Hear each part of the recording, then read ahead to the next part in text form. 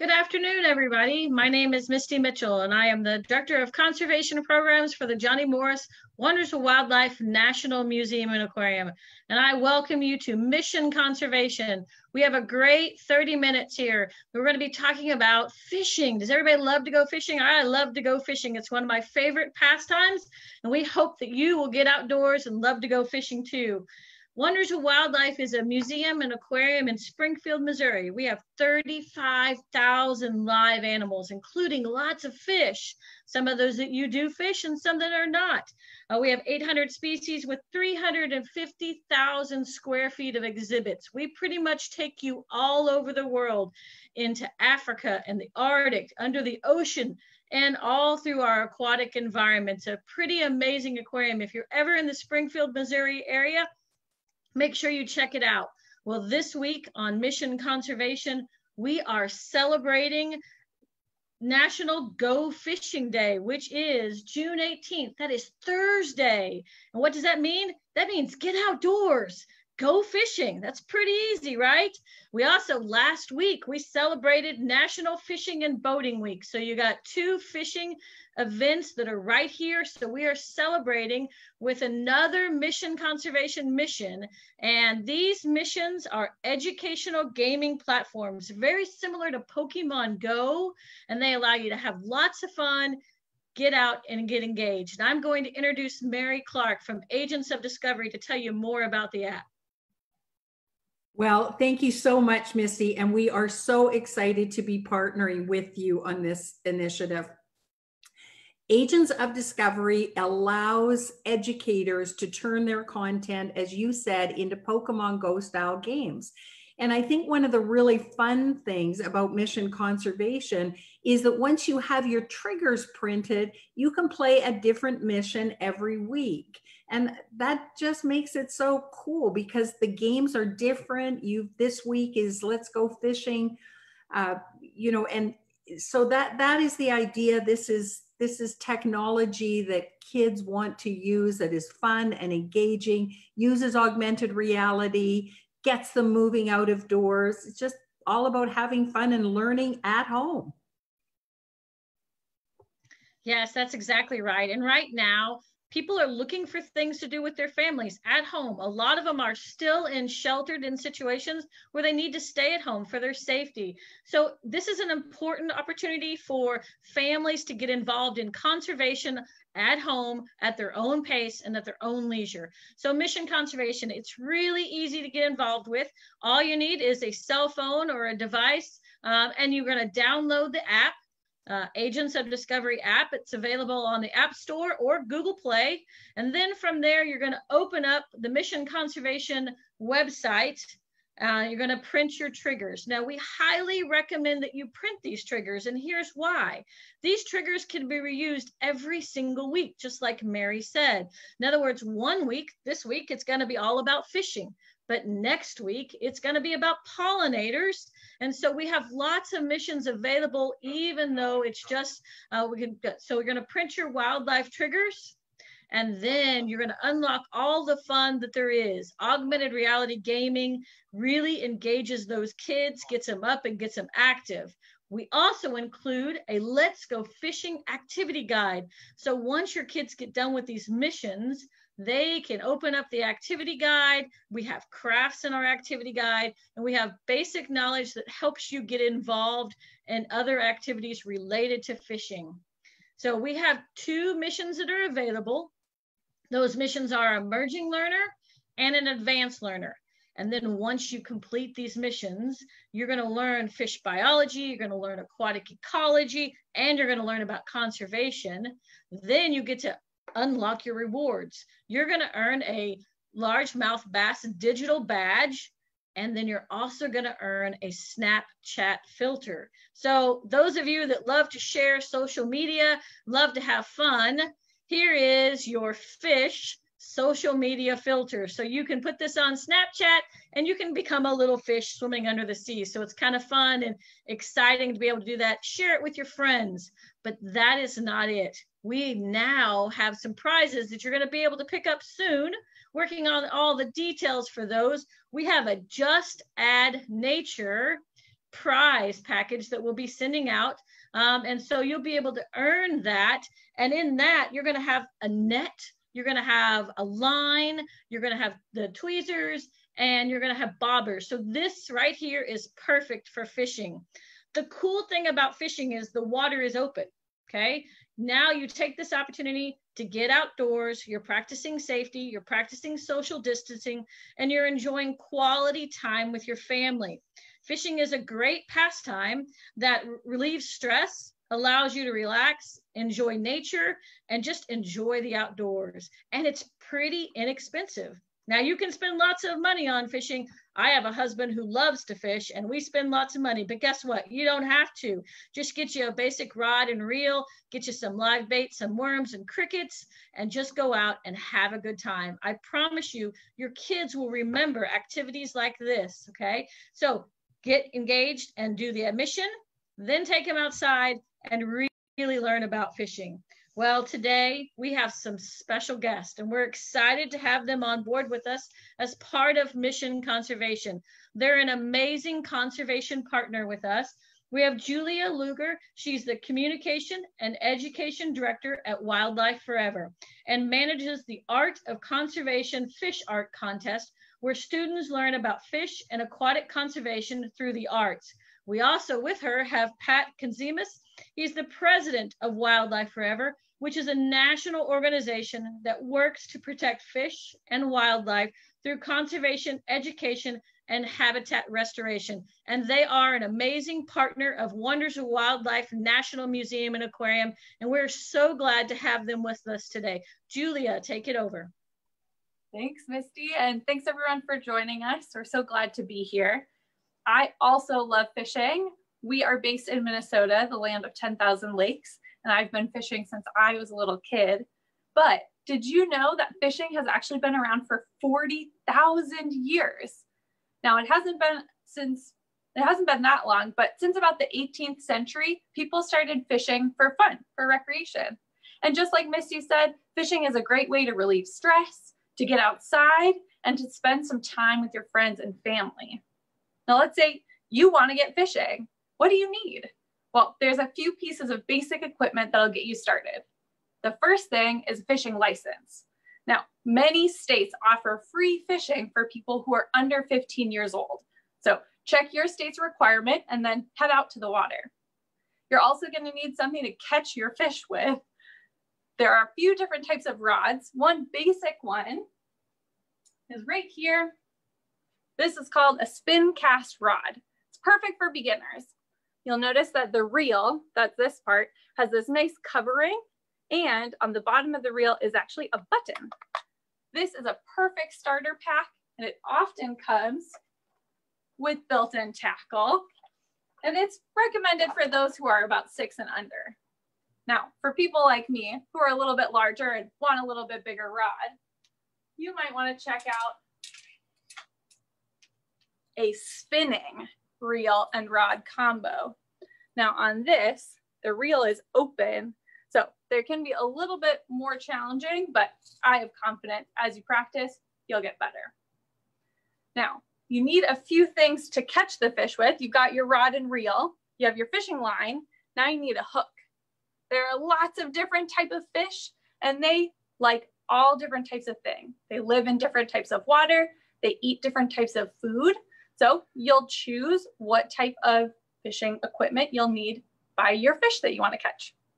You might use a basic bobber and hook setup. You might have a jig head, which is like a hook, but it's got this cool little piece on the top. Or if you're feeling fancy, you might even have a built-in swim bait lure. There are a few other pieces of equipment that some people will use. You might use live bait like crickets, minnows, or worms. You might use plastic bait that could look like a worm. It might look like a crayfish or even some that look like mice. But, and you might have a net and you might have a few pieces to help you unhook your fish once you get it.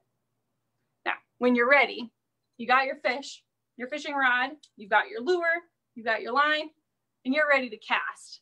Now, I suggest you don't do this inside. It's pretty windy here today in Minnesota, so we didn't want to take you down to the lake. But when you are ready, you're going to take your rod and you're going to feed out between six to 10 inches from the tip, that's what they call the end, down to your lure. When you're ready to cast, if you're using a spinning rod like this, you're going to take your finger on the line, your pointer finger, you're going to hold your rod and reel right here in the middle. This is the stem. You'll notice my fingers are split two and two. If that's comfortable to you, that's great. Some people hold theirs a little bit further back. Some hold theirs further in front. For me, I like it right down the middle. I'm gonna use my pointer finger and grasp the line because when I open the bail here, that's gonna release my line. My finger is holding the line in place so it doesn't fall out at once, leaving my lure right at my feet. I'm gonna open up that bail and to do an overhead cast, I'm gonna swing the rod behind my shoulder and forward it goes. Good luck practicing and have fun on the water. I'm gonna pass it over to Pat Conzemius. Hey, good afternoon, everybody. Thanks so much for joining us today. We're really happy to be here to try to teach you a little bit more about fishing. Now, you just learned about the type of equipment and the different things that you can use to catch fish. Most importantly, go to bassproshops.com. That's where you can check out all sorts of fishing gear and equipment and clothing uh, to get you set up for your next adventure. Also, really important that everybody learns about fishing and why it's important because it supports conservation. And when you buy your license or when you buy tackle and equipment, it helps fund our state agencies and our DNR and resource professionals to fund the work to make the great outdoors even better because we want to pass that on to the next generation. So conservation is key. And another very important conservation message that we want to share with you and some of the things that we work on here at Wildlife Forever are invasive species. And invasive species are one of the greatest threats to our outdoors because they take away habitat, they reduce game fish populations, and they really cause a whole host of problems. And we don't want to be part of the problem spreading those. So we want to prevent the spread and clean, drain, dry your boats, your equipment, your boots, all of your gear to make sure you're not spreading invasive species to that next area. So invasive species, let's make sure we stop their spread, practice the clean, drain, dry steps, but also another really fun way for you to learn about fish and fishing is through the arts. And at Wildlife Forever, we have a wonderful art program for those who love to draw, who love to have fun creating their own artwork. We have the State Fish Art Contest. And State Fish Art is a national, international art contest where you can draw your state fish or your favorite fish and enter in for all sorts of prizes and awards and have a really great time with that. There's you can check out the website at statefishart.org where there's entry forms, there's lesson plans, there's a whole host of resources and tools to help you learn about fish, fishing, and your state fish. So check out statefishart.org. And also remember that clean, drain, dry message. That's so important that we protect the future of our outdoor heritage. So thank you so much, and we'll take any questions. Thank you, Pat. And we, the State Fish Art Contest, is an amazing program. Wonders of Wildlife is actually the home of the Missouri State Fish Art, and we've been working with Wildlife Forever for the past two to three years doing that program. We've really enjoyed being part of that, and the artwork that is received is amazing. Um, as a national judge this year, I got to see some of the national artwork, and I was so impressed because I can tell you I can't uh, paint and draw like they can. So we have a question for you, Pat and Julia. They want to know what is your favorite fish to fish for?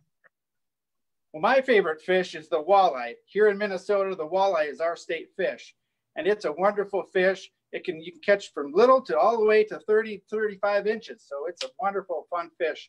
Julia, what's your favorite?